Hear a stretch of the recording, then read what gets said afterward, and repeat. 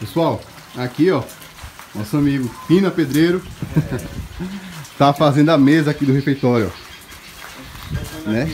Como eu disse pra vocês. Isso aí, Pina.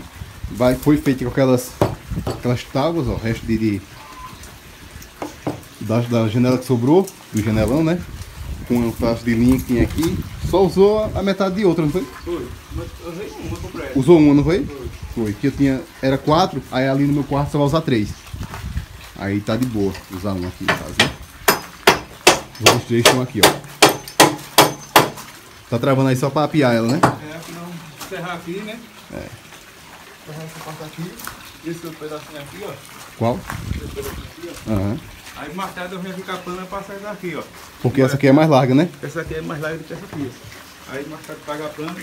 Por isso que ali quando a gente faz assim das portas, precisou umas cortar na maquita e outras não. Foi? Foi. Ah, então Acho que é essa a mais larga que tinha, né? É, uma maior do que a outra. É. Aí ela tá, pessoal, assim, toda mola ainda, porque falta travar ela e como é que se fala? Também falta tirar as pedras e deixar ela no, no, no barro mesmo, né? É, que aqui ela tá na pedra, É, fica se jogando. fica se pedra. jogando aqui. Aí a gente faz umas cavinhas aí no, no solo e trava ela. Com o quê? Com mais, com mais 3 metros você mesmo? Sim? Meda aí pra ver.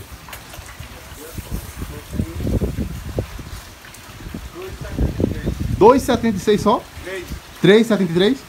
Olha, quase 4 metros. Dois, quatro vezes. Faltou 30 centímetros, né? Ah não, pô, foi 2. 2,73. Ah, entendi que era 3,73. Poxa, mas com um tamanho bom ainda, viu? Aí desse lado de cá, pessoal, a gente vai fazer um banco. E eu acho que um, tipo um banco L, fechando aqui também. Né? Um recantinho aqui, né? Pra fechar assim. Desse lado de cá a gente bota a cadeira. A gente fez ela da mesma altura. Ficou passando 5 centímetros só, não foi? Daquelas mesas branquinhas, quadradinhas, que vocês veem. É, aquela mesa de bar normal, aquela branquinha. Vocês já viram aí, né?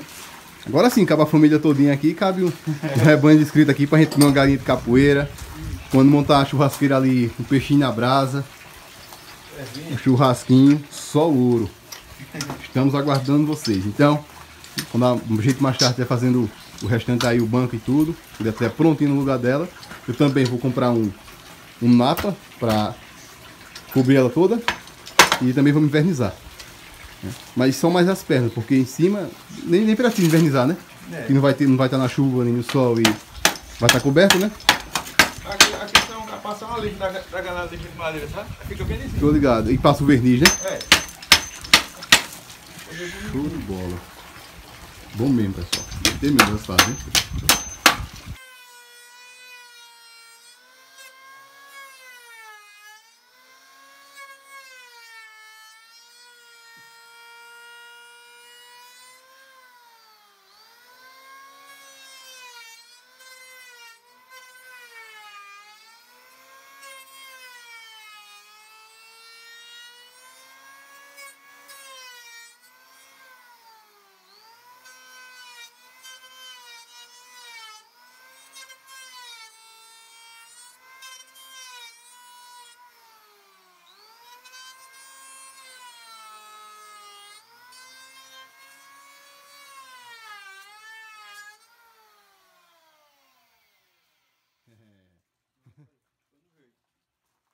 Bola, viu? Pessoal, estamos passando ela. É. Estamos passando ela na. Aqui? Mas o, o, o plástico, é, o napa que vai colocar, que é a toalha, aí cobre, né? Ó, pessoal, ficou boa essa mesa, viu? Realmente foi uma boa ideia que eu tive de aproveitar isso aqui. E uns pedaços de, aqueles pedaços de linha. Isso aqui é pedaço de linha, pessoal, que tinha sobrado de quando tava fazendo a pousada ainda. Porque vocês sabem que o recanto dela e no meio tem linha em pé, uma linha. Pra deixar mais quadradinho, tá ligado? Aí só tinha sobrado, era um metro e pouco. E ainda sobrou esses pedacinhos aqui, ó. Que a gente tava pensando em fazer um banco, mas por enquanto não vai fazer não. Com esses aqui, né? Vamos fazer com outros que tem ali. Assim mesmo. É já. Tu acha? Que é melhor? Quem sabe? Ou deixa, deixa assim mesmo? Assim mesmo, né? Assim mesmo, porque o- quando o- a dobra do, do- da toalha descer já, já fica o quadradinho, né? É. Show de bola, viu? Além de pedreiro, é marceneiro também, pessoal. É, isso aí, pessoal. Aí, ó. É, eu tô ligado. Já disse, vamos instalar chuveiro. Ele disse, eu, não- eu tenho o teste, mas trouxe teste esqueceu. Tá. Eu sabia disso. Eita. teste, mas não energia, teve? Pois é. Mas é besteira. Ó, pessoal. é, eu vou fazer isso. A gente retocou aqui com a argamassa, né? E tudo. Aí os cantinhos de racha vai revestindo de novo. Só que acabou para essa argamassa. Aí tem gesso ali, pode passar com gesso também. Aí eu vou fazer um detalhe aqui, vocês vão, vão ver. Se é assim, mais ou menos. Pra ficar no grau, no grau, no grau, sabe?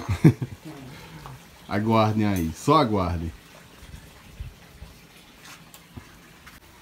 Pessoal, agora eu estou preparando a tinta natural que eu usei, né?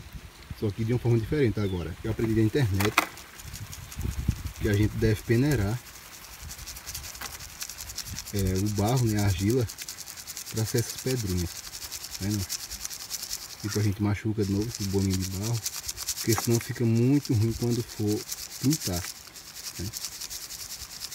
Aí tem que peneirar todinho para ficar só essa poeirinha, colocando ali, ó pegar de pouquinho mais para facilitar. Ó, tá vendo? Peneirando todinho assim. Até conseguir uma boa quantidade. Tô colocando essa maceira aqui. Quem tiver uma peneirinha maior facilita, né? Mas que eu não uso, só tenho essa aqui. Aí eu tô usando essa. Então eu vou peneirar todo isso aqui. Se precisar faço mais. Pra fazer nossa tinta natural. Viu? Vou botar um pouco de cola também aqui. Viu? Primeiro eu não usei. E também porque eu vou passar um verniz incolor por cima dessa tinta também. Para impermeabilizar. Ou o verniz ou a cola branca pura, né? No caso ela dilui um pouquinho de água para ficar mais fácil a aplicação. Beleza?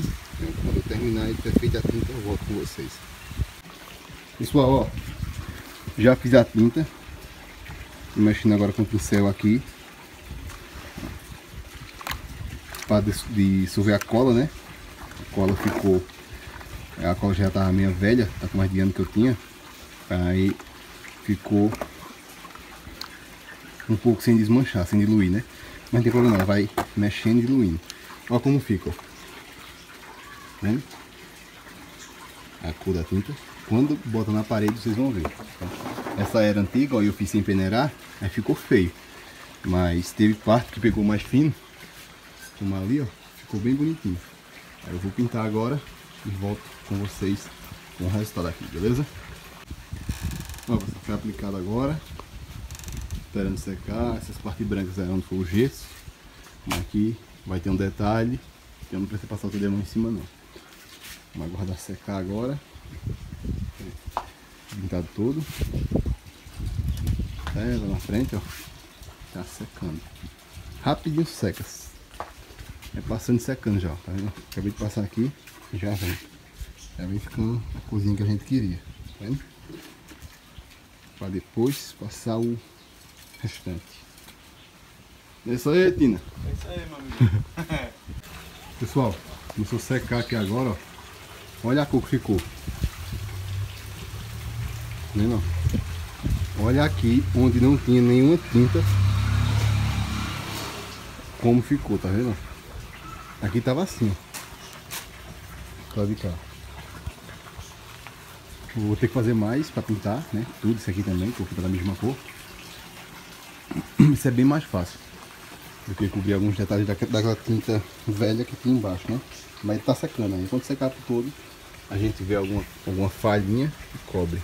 Mas ficou da cor que eu queria mesmo, viu? Filé do Brasil. Aí pessoal, depois de seco já, ó. Né? E ficou bom de verdade. Aqui tem aqui também, ó. Tem essa parede completa aqui no refeitório. Tem embaixo. Tá começando a secar agora. Sai uma manchinha aí. Né? Também a metade daquela. né? Vai secar ainda. Mas infelizmente a cola acabou. né? Então eu vou ter que outro dia em Rainha Isabel buscar essa cola. né?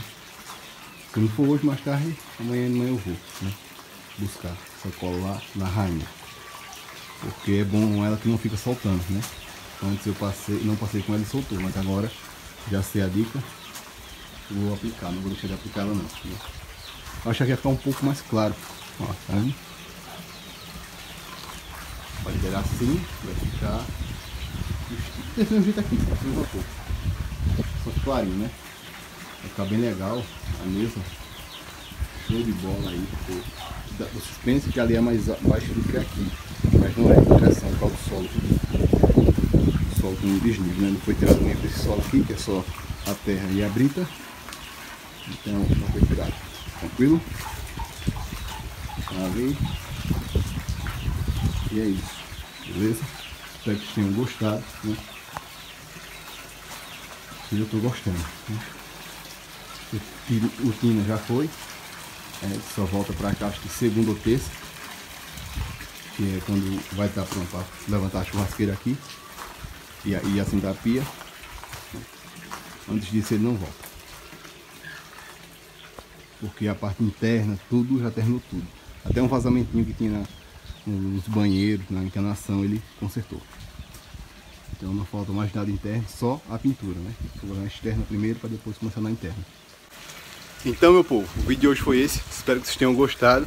Se gostou, deixa seu joinha, se inscreve no canal, compartilha esse vídeo, viu?